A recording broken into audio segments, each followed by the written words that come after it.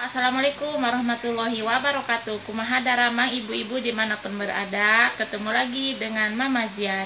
Jadi hari ini Mama Jian mau masak siang buat Inces Dan juga memasak buat aku. Apa aja yang ingin aku masak Dan apa aja yang ingin Mama Jian makan siang hari ini Gitu ya. Jadi let's go ke dapur ya. Masak apa aja hari ini Assalamualaikum. Nah, hari ini saya lagi masak uh, daging kecap gitu buat nenek dan ini adalah daging babi, daging ayam dan jantung ayam. Ini bawang putih ya kayak gitu dan telur udah saya rebus. Dan ini adalah rebung ya, biar pencampurnya rebung. Biasanya sih ada lobak tapi nggak ada lobak. Dan ini adalah uh, rebung yang itunya, yang mudanya. Kayak gitu. Ntar sih mau masaknya simple aja. Punya itu simpel aja, cuman gula batu sama kecap asin. Gitu aja sih kalau aku mah. Telurnya aku rebus dulu e, pakai kecap asin tadi ya dan diangkat dan e, udah diangkat nah kecap, kecap asinnya tuh. Dan masukkanlah dagingnya sama e, rebung yang tuanya tadi itu.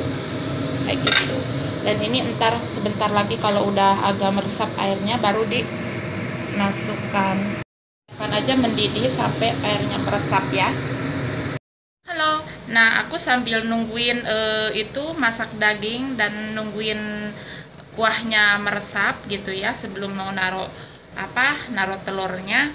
Barusan aku kan kehabisan telur aku beli ke depan gitu. Nah aku kalau kesempatan ke depan itu beli e, minuman kayak gini di Taiwan itu suka banget. Jadi kita juga banyak ya harganya 20 NT seger banget buat uh, yang panas dalam. Banyakkanlah minum uh, yang dari bahan kelapa-kelapa biar di perutnya itu dingin ya. Sekarang tuh musim panas ya. Jadi uh, jagalah kesehatan ya. Kokonatnya itu kayak gini no susu kokonat kayak gini tuh. Seger. Kayak gitu. Jadi panas-panas begini sambil masak kita itu uh, apa ya sambil minum kokonat ini. Enak. Udah baca bismillah ya teman-teman. Bismillahirrohmanirrohim bisi pajar kente. Baca bismillah cina gitunya mohon pokoknya mah jangan sampai kita itu panas dalam karena kalau udah panas dalam eh uh, semuanya bisa bengkak.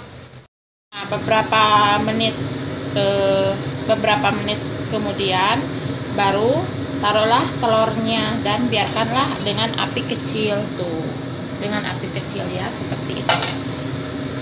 Kita tutup dulu sampai matang. Nah bunda semua dagingnya udah matang. Kalau di kita mah namanya semur daging ya. Nih semur daging kecap kayak gitu-gitu sih. Simple aja. Udah matang ya airnya udah sedikit kuahnya. Menu hari ini sayurnya itu ini aja seperti ini. Yang malam sih cuma diangetin lagi hari ini. Ini adalah apa sih namanya? Lupa aku namanya. Terus ini ini sama daging babi sayur sup bening. Menu makan nenek siang. Ini menu ketiganya nenek. Ini adalah uh, sayur kacang polong muda gitu. Cuman dioseng-oseng kayak gitu udah. Jadi hari ini itu nenek tuh um, masak yang simpel-simpel nenek kalau tumisnya itu nggak suka pakai bawang putih ya teman-teman. Nah, dan menu keempatnya adalah cumi. Cuminya cuma dioseng sama jahe udah sama kecap asin seperti itu. Dan inilah makan siang inces ya. Sekian.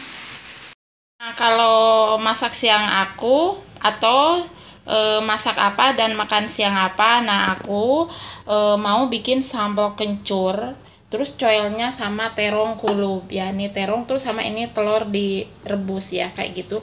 Terus ada uh, apa namanya siwang yang kemarin bikin biasa terus nasinya segini. Hari ini nasinya sedikit sisa semalam diangetin kayak gitu. Halo semua, nah jadi makan siang Mama Jad itu cuman begini aja ya hari ini mah e, cuman ini sama siwang nasinya dan ini sambal kencur dicoel e, terong kukus dan telur itu aja ya. Tapi maaf teman-teman ibu-ibu mama Jan nggak bisa makan di depan kamera karena makannya sama Inces seperti itu ya. Maafkan karena Inces kadang-kadang lagi lah ya mau ditemenin makan